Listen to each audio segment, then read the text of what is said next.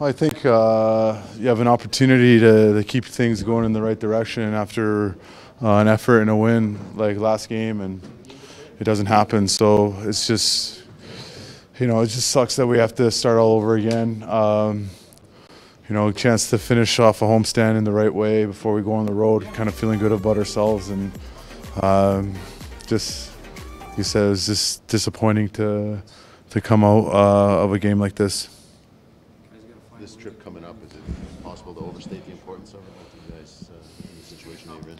For sure. I mean, I mean, it's on all of us the the hole that we've dug ourselves, and um, eventually you gotta start doing something about it and kind of stop stop feeling sorry for yourselves. And I think it comes down to the players taking over, like we did last year, and uh, you know, playing the way that we can and we, uh, that's, that's what it's going to take for it to turn around.